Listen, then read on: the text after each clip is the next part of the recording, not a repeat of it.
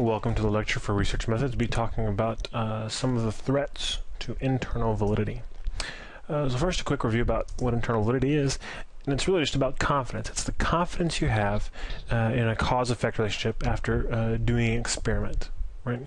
You say, okay, I think the independent variable had an effect on the dependent variable, and if your uh, study has good uh, internal validity, then you can be confident that that, that you're right that the IV did uh, affect the DV, that whatever difference you find in the DV is attributable, is due to, caused by the independent variable.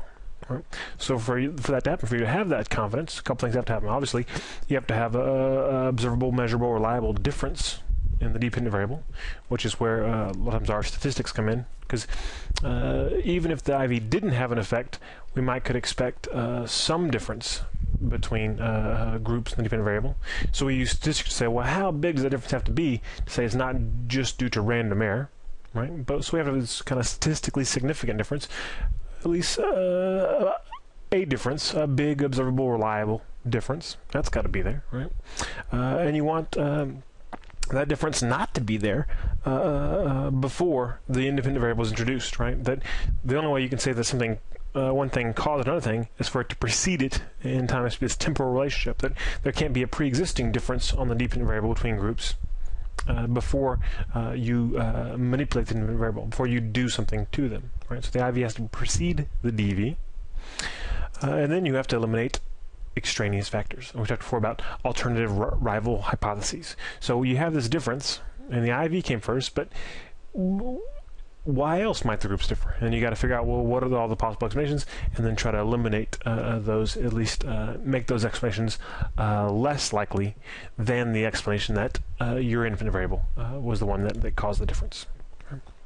So, in theory, in an ideal kind of people-free world where you did experiments with robots, you could confidently establish internal validity by using either of two basic designs either with two identical groups, right? So two groups who are exactly the same, and you treat them exactly the same, and then we uh, measure them on some variable after we've done something different uh, to one group than we do to another group, and we can be confident that those groups differ because of uh, what we did to them, right? Because they're they're identical.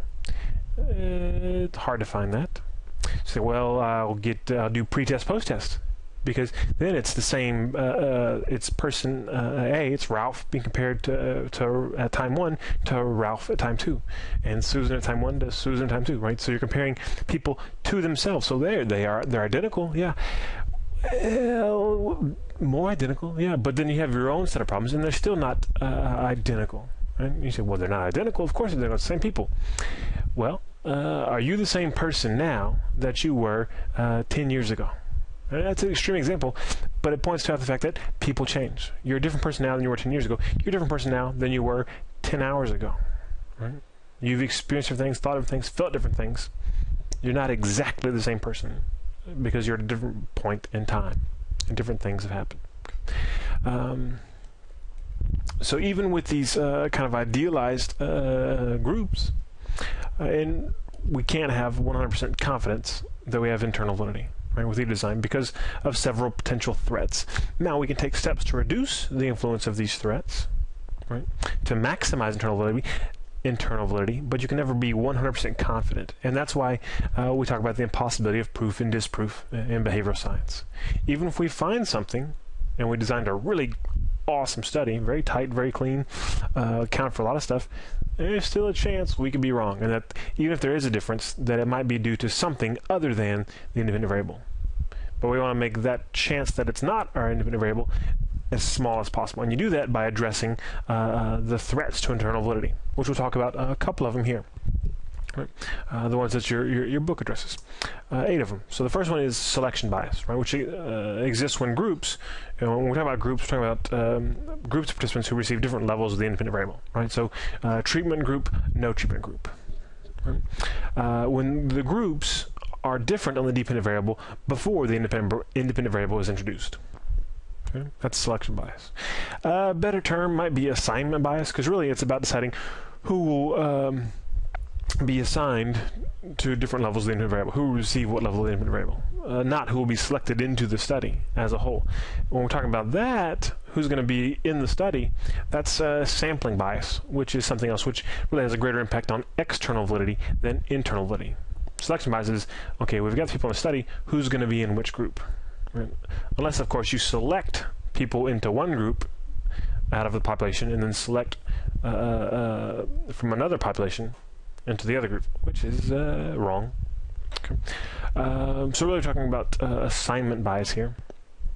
And a couple things that can happen. Uh, probably one of the most egregious mistakes you can make would be to allow for self-selection, to let people pick uh, what uh, level of independent variable they want to receive. You just never do this, right? It, it, you lose all internal validity when this happens. So, you know, if you're doing a smoking cessation study, and you say, okay, uh, you want to be uh, everybody who participates is going to get 100 bucks.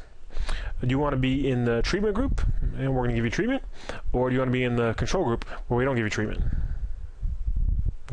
So I, let people choose.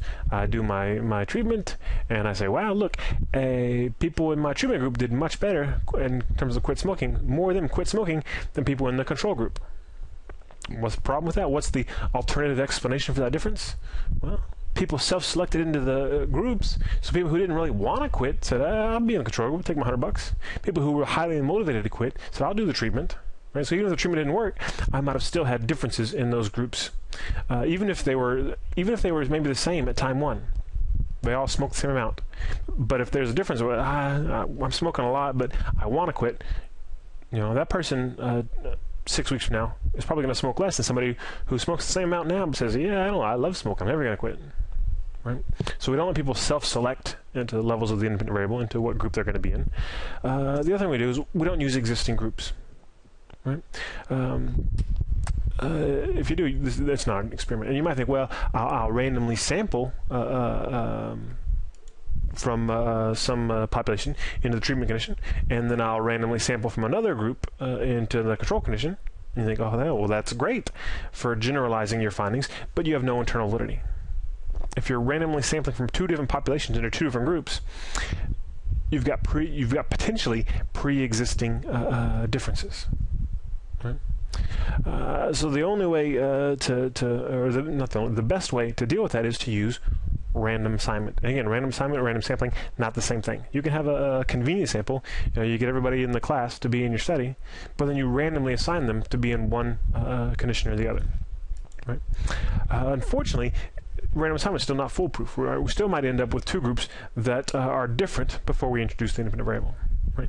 Random assignment uh, distributes people uh, randomly, right? so that they should be roughly equivalent groups, but not necessarily because it's random. We can't. Random isn't uh, exact. It's it's random, right? But the more studies that are done using random assignment that find an effect, the less likely it is that selection bias becomes a viable explanation for those group differences, right? And that's why we put such emphasis on replication. Right? So we use random assignment to already say, okay, we're going to try to make these groups as equal as possible. We'll find something. And we say, well, we found something, use random assignment, but the group still could have been different before we did anything. Somebody else do the study again. Somebody does the study again. They also use random assignment, making it really, uh, trying to make the groups as equal as possible. They find the same effect. It's pretty unlikely both of these groups happen to have kind of uh, uh, you know people who smoke less, happier people in the treatment group than the control group both times. And the more times you find that effect, the more confident you are that the effect is real, not due to uh, some sort of uh, uh, random difference or, or selection bias. Right? Um, then there's also uh, the uh, selection by maturation interaction, which this happens when you don't use random assignment at the beginning. But maybe you somehow still manage to get equivalent groups, uh, at least equivalent on the dependent variable, before the IV was introduced. And probably by using a matching strategy. So you would uh, say, okay, well, uh, here's these uh, Girl Scouts and here's these Boy Scouts, and I'll uh, sample from each group until I get uh, equal IQ from each group and then I'll do something different to the Girl Scouts and the Boy Scouts, and then see if they're different, right? And you say, well, they were the same at the beginning because I, I measured them, I sampled them to be equivalent on the dependent variable, right? A couple things. Uh, even if they're, uh, the group scored the same average uh, on the DV at the beginning, doesn't mean they're equivalent groups. They're not same on all variables. You can't match them on all the potentially uh, influential variables, right? Uh, and then but the the sele- selection by maturation interaction says even beyond that, even if they are uh, they look identical at one point in time, they might not be later, right? So a difference that's, that isn't present or observable at one point in time when you do the matching might manifest itself. That difference might manifest itself over time. That's what maturation is. So the groups might become more different uh, over time from when you did the matching to when you measure the DV after uh, uh you use the IV, uh, and they might have looked different even if you hadn't introduced the independent variable. I think it's something that's less likely to happen if you had uh, started with random assignment in the first place. So don't use uh, existing groups. And if you do use the existing groups, uh, because you some theoretical reason to do so, you just have to know there's a good chance that if you find the difference, it may not be due to your independent variable. And you've got to take steps to, to explain, well, here's why I think it is, right? And so they were the same on this variable, this variable, this variable. And the only other reason they would be different is because of this, but I measured that too, or I, I manipulated that to keep that from happening. Right? So you create more work for yourself if you don't use random assignment. So best plan, use random assignment. Uh, okay. Uh, regression effects. We're talking about regression to the mean, uh, which is more of a problem for, for pre-post designs. Right? Uh, if you recruit people into your study based on extreme scores, right? So uh, I'm looking at a tr uh, depression treatment study. So you can only be in my study if you have really score really high on measures of depression or really depressed. So I measure your depression now. You're in a study A, and I'm going to measure you in six months. Even if I didn't treat you, your score is probably going to come down, right? It's going to regress to the mean because if I all the people that are really looked really depressed, some of them may be really depressed. Some of them may not really be that depressed. Right? Their true score might be lower than what uh, is measured because there's random error. We've talked about that before. Um, but the random error, if it's extremely high, the random error probably didn't push their score down. They're probably not higher than that because this is the highest of the high, right? So that means that uh, a good uh, portion of these people who are, are really who measured really depressed, looked really depressed, weren't that depressed. Their true score wasn't that depressed. So when I measure them uh, again later after doing my treatment, right, I can't expect random error to, to keep pushing their score in the same direction because it's random error. It might push it back the other way. It might push it below their average. So most of them probably will regress towards some average score and look less depressed, even if I hadn't introduced my, my treatment, my independent variable. Okay. Um, and, and, that's again for, for pre-post. If you use uh, kind of the two groups design, between groups design, uh, regression to mean not as big a deal as long as you still use random assignment. Both groups should they should both regress to the mean if you use random assignment and they weren't uh, um, they're not uh, sampled from different populations in the first place. Okay. Um, more concerned with pre, post designs, uh, mortality uh, effects, which are also referred to as attrition. This is about people dropping out of your study and referred to as mortality because one way to drop out of study is to uh, die. Although usually that's not why we lose people; it's because they don't want to be in the study anymore. Right? Uh, and really, it's more of a threat to internal validity if it's differential attrition, differential mor mortality. Because if equal numbers of people, uh, in, in, if you have a true design, equal numbers drop out in each group, it's not that big a deal in terms of uh, does would that make these groups different? What makes the two groups different, not the IV, is you have differential attrition. So if I have a treatment group and a control group, and I have a lot of people drop out of my uh, treatment group, and then I measure the people that are left. I say, wow, they all did really well. The treatment worked. Well, it worked for them. It probably didn't work for everybody that dropped out. Maybe that's why they dropped out. So maybe the treatment doesn't really work. It only worked for a, a small subset uh, of people. Right? Um, so differential attrition uh, more of a problem when you have a, that two group uh, design. Uh, but uh, even if if, if you're doing a pre-post, obviously there isn't differential because it's the same people, uh, but mortality can be a problem there. To where from pre to post, uh, so at the, at the pre scores were down here, and at post everybody's doing really well, but that's a problem if um, you're only looking at people who stayed in. The people who didn't do well, they dropped out of study because they weren't getting better. But you're concluding that treatment worked, eh, maybe not. Maybe it looks like it worked, again because of uh, mortality. Uh, kind of similar to that would be maturation, which again is uh, affecting your pre-post designs. So when you have changes from pre to post are due to biological maturation, uh, which is more of a concern for longer running uh, longitudinal studies.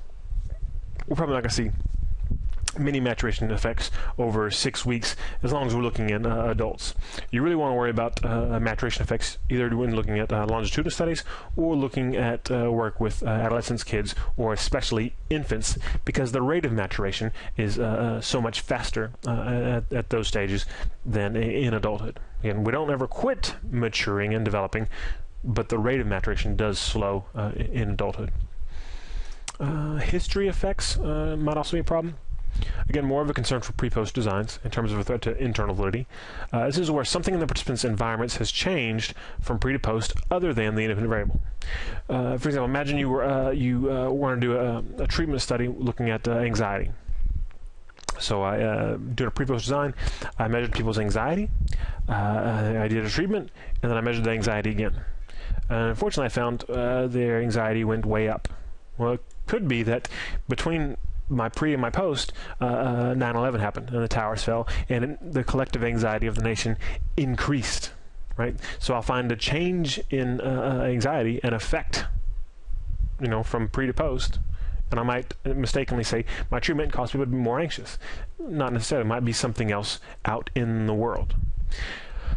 Um, and again, history effects can be major things like that, or they can be uh, minor ones. You know, if you're doing a study in a, some school looking at an intervention for uh, bullying, and you start at one point in time, and you're doing a kind of a, a six-month study, uh, and pre to post you find bullying decreased, uh, but you didn't take into account that oh, from when you measured time one and time two, uh, they stopped having pep rallies, and the kids that were getting bullied were getting bullied uh, before the pep rallies all the time. Right, so you have to be able to consider all the things that could affect the dependent variable that are going on outside in the world. Right? And it's really just a matter of paying attention to those. You can't stop the things from happening, but you have to notice them uh, and then address whether or not they would logically uh, affect the, the dependent variable uh, or not. Okay.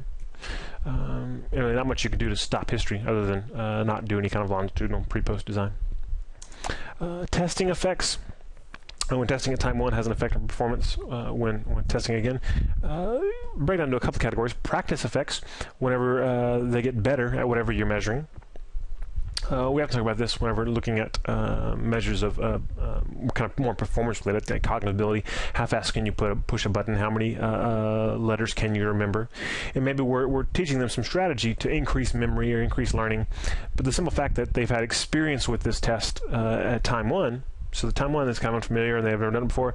They should do better at time two, even if you didn't uh, uh, do anything to them to help them get better. Right. Um, so one way to, to deal with that is to have a comparison group. So if you do pre-post, have pre-post with two groups, right? So uh, uh, then we can subtract out, basically, statistically, the practice effect uh, um, by saying people who didn't get our treatment whatever bump they got in performance, so they got this much better from pre to post, we're going to however much better they got, we'll subtract that uh, gain from the other people's scores and say, okay, whatever, if these people gained more than that, then our treatment had an effect. Okay. Uh, but there might also be fatigue effects in terms of uh, uh taking a test again. The more more you test something, performance might go down, might uh, might decrease because they're getting tired of doing it. They're bored. This is stupid. I've done it before. I'm not going to do it again, and they pay less attention to their responses. Right? Uh, and then you also have kind of a more informal category, the, the catching on effects. Um, this is where measuring multiple times makes it harder to hide your hypothesis. And participants might figure out, you know, what the right way to respond is. So what I'm saying is we might be introducing demand characteristics uh, by measuring uh, multiple times by, by testing. Um, so then they'll, they'll try to respond in line with what they think our hypothesis or hypotheses are. Uh, and then the last one is instrumentation, which is uh, that it is possible that you might uh, uh, measure the dependent variable differently at time one and time two. Usually something is done unintentionally, maybe because you really just want to see results so bad. Oh, that looks like I think it should be. Uh, but it, there may also be kind of practice or fatigue effects on the part of people who are doing the scoring. Assuming you some sort of uh, um, observation, or where you're, maybe you're rating participants, uh, and you get better at rating uh, how uh, aggressive or depressed or happy or whatever they are from uh, time one uh, to time two. Uh, to deal with this as much as possible, you know, you standardize your measurement, and then you can also uh, go back and check. You, and really, you can't check it. Well, you could, but it's not feasible to check every measurement for, for possible bias, but you kind of spot checks to see if uh, um, if the application of scoring criteria uh, were consistent uh, from time one uh, to time two. And this really only works if you have some uh, some way to capture the behavior that was being measured. So if you videotaped uh, time one and time two, and somebody scored it live at the time, you go back and you pull you know 10 of the 100 observations, and you say, okay, see, look how they scored it at time one, look how they scored it at time two. did they apply the, the rules, the scoring rules, the same way both times?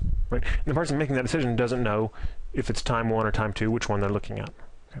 And you kind of a spot check to see for instrumentation effects uh, if you think it's a concern. Okay. Um, okay. So summing up, uh, we've talked about eight threats uh, to internal which are not all the threats. This isn't, this isn't by no means an exhaustive list. We've already mentioned uh, a couple of others uh, elsewhere. Uh, things like things that threaten uh, your construct validity and how you're measuring your variables, uh, but also your, your data analysis strategies and the choices you make uh, there have an impact. Um, but these are uh, eight that are discussed uh, consistently throughout the literature. They're important to, to know about. Uh, but what, to, what I want you to do now is be thinking about how the decisions about formation of a sample affect internal validity. And a lot of the things we just talked about, those eight, a lot of them are related to sample and also to assigning people to conditions, is a little bit more uh, other parts of the method. Uh, but think about that. But then also, don't forget about, because we'll be talking about uh, creating our sample, how do the choices we make in terms of uh, uh, recruiting, uh, selecting, creating a sample from a population, how do those influence external validity of our findings? Okay? All right, that's all for now. Take care.